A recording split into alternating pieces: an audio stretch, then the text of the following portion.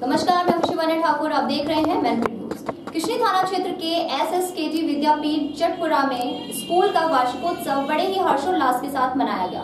कार्यक्रम का उद्घाटन भाजपा जिला अध्यक्ष आलोक गुप्ता व पूर्व विधायक अशोक सिंह चौहान ने माँ सरस्वती के चित्र पर माल्यार्पण कर किया। देखिए हमारे संवाददाता अमित चक की रिपोर्ट। कस्बा किसनी में मंगलवार को S S K D Vidyapeeth Jatpura में स्कूल का वार्षिक उत्सव मनाया गया। कार्यक्रम का उद्घाटन भाजपा जिला अध्यक्ष आलोक गुप्ता व पूर्व विधायक अशोक चौहान ने माँ सरस्वती व पूर्व भाजपा नेता स्वर्गीय गिरीश दुबे के चित्र पर माल्यार्पण कर किया।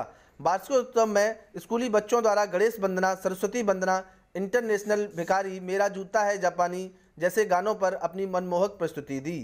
इस मौके पर रमाशंकर तिवारी, इंस्पेक्टर के के तिवारी, अनुराग पांडे, प्रदीप चौहान सहित आदि लोग मौजूद रहे। Bureau report, Mainpuri.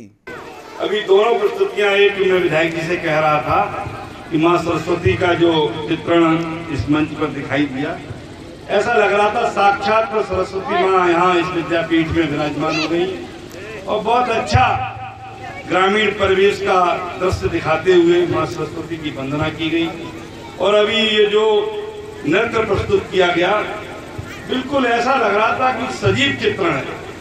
इतना अद्भुत मैं हृदय की गहराइयों से इस विद्यालय के प्रधानाचार्य, इस विद्यालय के जो हमारे आचार्यगण हैं, शिक्षिकाएँ हैं, इन सबने मेहनत करके बच्चों को संवारने का काम किया। निश्चित रूप से उनका बौद्धिक विकास भी इसी दृष्टि से हो रहा होगा।